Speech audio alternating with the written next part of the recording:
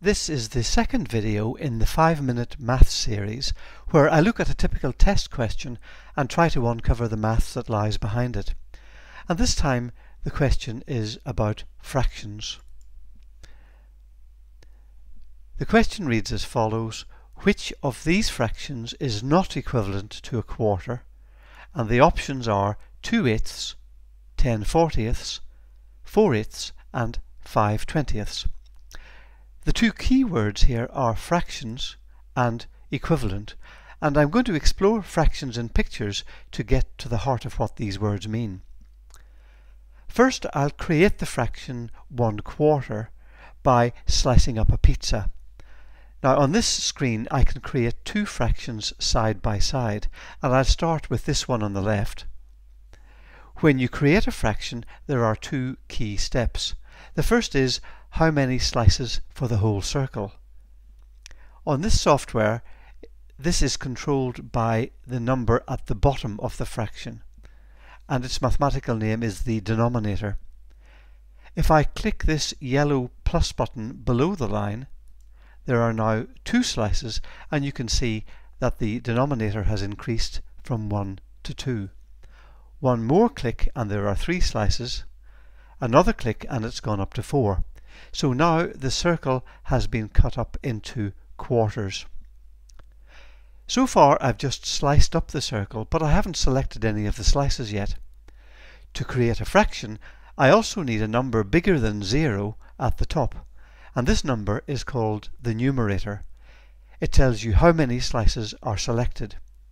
So this time I'll click the yellow plus button above the line.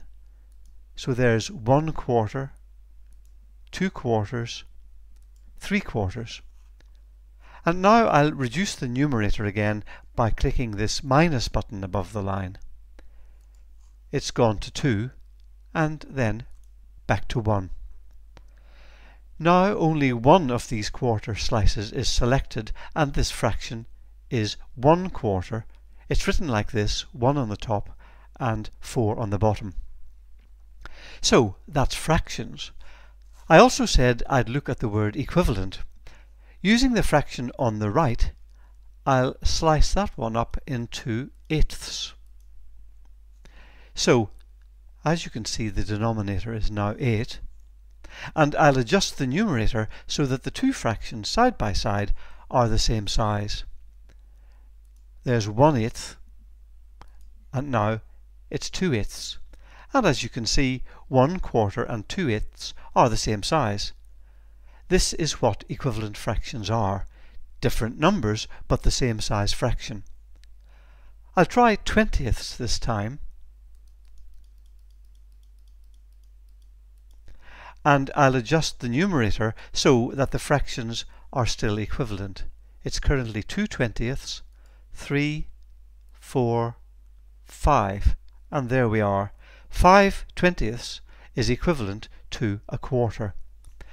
In fact, there are lots and lots of fractions equivalent to a quarter, but all of them share this property, which is that the number at the top, the numerator, is a quarter of the number at the bottom, the denominator. And returning to the question, which of these fractions do have this property, that the numerator is one quarter of the denominator? Well, 2 is a quarter of 8. 10 is a quarter of 40. 5, as you've seen, is a quarter of 20. But the odd one out is 4 eighths, because 4 is not a quarter of 8.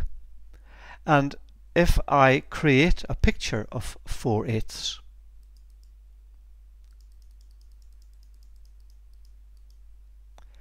I need one more. You can see that 4 eighths is equivalent to a half, actually twice the size of the other fractions. Well, they say that a picture is worth a thousand words, and I hope you find these sorts of pictures helpful as a way of understanding what a fraction is, as well as the idea of equivalent fractions.